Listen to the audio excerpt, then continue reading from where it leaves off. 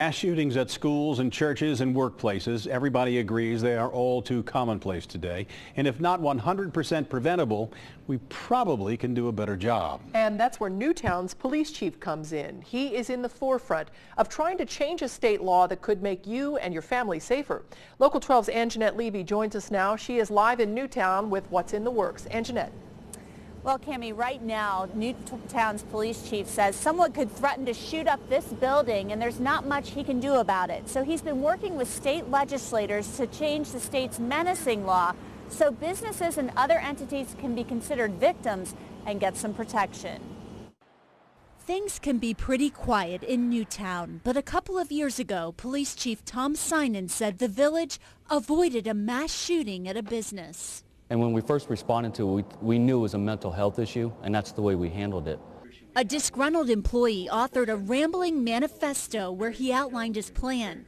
He was seen with a gun near the business and was charged with menacing, but the case was dismissed because the threats were made to a business, not a specific person. Because of that, there was little police could do, but a bill in the Ohio legislature would change that. So this law will allow government entities, churches, schools, businesses to file protection orders, both civil and criminal, and file criminal charges. They will now be looked at as a victim.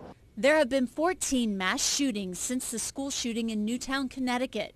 Changing Ohio's menacing law would give police the ability to take a person's guns temporarily, hopefully preventing a massacre. A judge could order mental health treatment. Meridian Bioscience in Newtown hasn't received threats, but CEO Jack Kraeutler believes the law change is logical.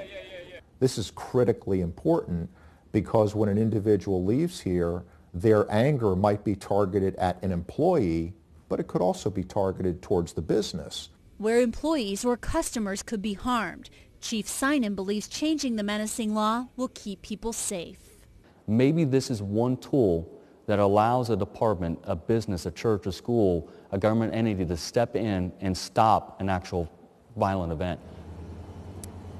Newtown police worked with the FBI and the ATF on this case. This person was eventually declared mentally ill after a lengthy court fight and his guns were taken away permanently.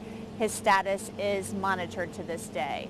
Reporting live in Newtown, Angenette Levy, Local 12 News. Cami? All right, Angenette, thank you. And the bill passed in the Ohio House. It is back in the Senate where some changes will be debated, and it's expected to pass this summer.